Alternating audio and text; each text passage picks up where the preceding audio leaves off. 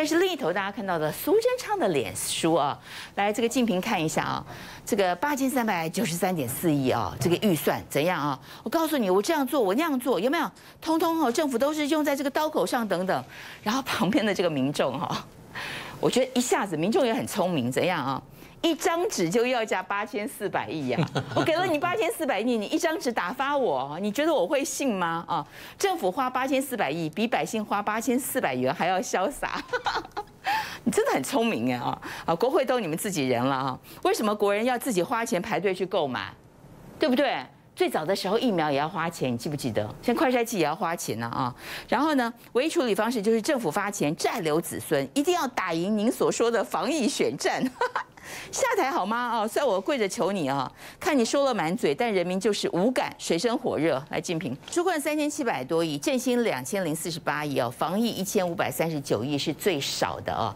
这个八千四百亿呢，给了他八千四百亿，就一张图把大家打发了。来，竞平，那个八三九三点四亿啊，这个八千四百亿下面的每一笔支出接受国会监督。嗯，这句话他很明显想要拉着立法院背书。是，但是我我这我就非常有意见，因为。因为刚刚广告的时候，我特别请教介大使跟那个春琪老师，大家记不记得去年在缺疫苗还买不到疫苗的时候，那时候吵着要买那个莫德纳和 B N T，我们台湾缺疫苗的时候，国民党在野党的立委，还有这个时代力量，还有民民众党，那时候说要发起一个这个国会调阅，也是要说准备要一个调阅小组，你要买疫苗怎样怎样，然后当时民进党就一直骂国民党说，哎，你们想干嘛？你想知道价格啊？你想介入采购案啊？你想做什么？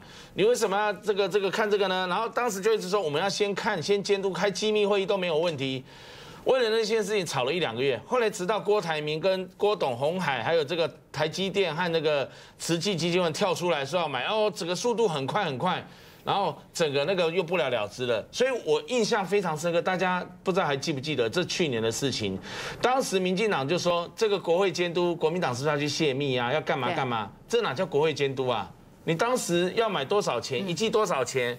然后甚至扯到了林权，还扯到了这个这个当时东阳，然后还是后来东阳又爆出那个所谓的内线交易啊，不是他的总经理什么都被收押吗？这些都是我们历历在目的事。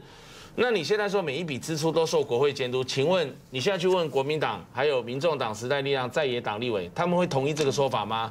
不但没有让国会充分监督，你还用这个话来加拉立法院背书，我真的觉得啊，真的是很不要脸哎。然后现在来看那个防疫的一五三九点四亿，它上面还有疫苗快筛，你花了这些钱，到底买了多少疫苗？你的快筛，你的相次分明，你是不是要可以把它分开来？一笔一笔分清楚，而不是说我买疫苗又买快筛一五三九点四亿，你总共多少个疫苗？之前有一个细目，大家看到没有？没有啊，没有。之前有个细目说大家买他买这个口罩面罩买了几亿个，有没有？哦，口罩面罩，但是呢买快筛非常少，只有我记得大概只有几千万，但是花了好几亿去买这个口罩，这是不符合比例原则嘛啊。